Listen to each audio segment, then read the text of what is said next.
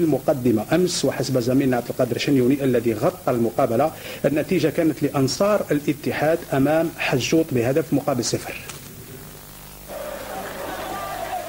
ككل أسبوع جمهور اتحاد العاصمة يتنقل بكثرة لملعب بولوغين لتشجيع فريقه. لكن اليوم لم يتمتع بالعروض الشيقة.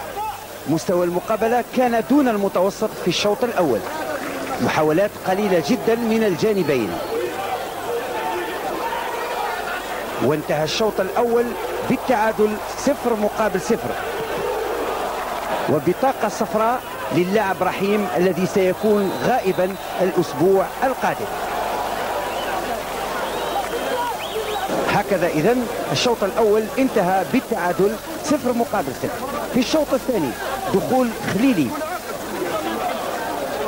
كان هام جدا حيث أدى مقابلة جيدة وشجع رفقائه في الهجوم. تشجيعات المدربان إفتسان وبورحلة كانت غير كافية والجمهور هو الذي لعب دور كبير.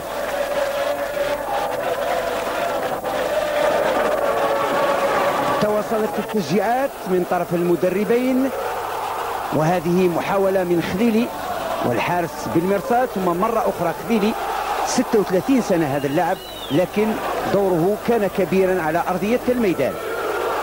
ثم كايا مرة أخرى بضربة رأسية تمر جانبية ويأتي الهدف. مخالفة من اللاعب رحيم والحارس يرتكب خطأ. جنان وهو الهدف الوحيد وفرحة اتحاد العاصمة والجمهور.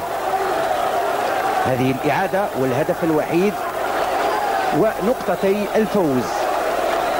المقابلة ككل لم تكن في المستوى والجمهور هو الذي لعب دوره كما ينبغي خلال هذا اللقاء.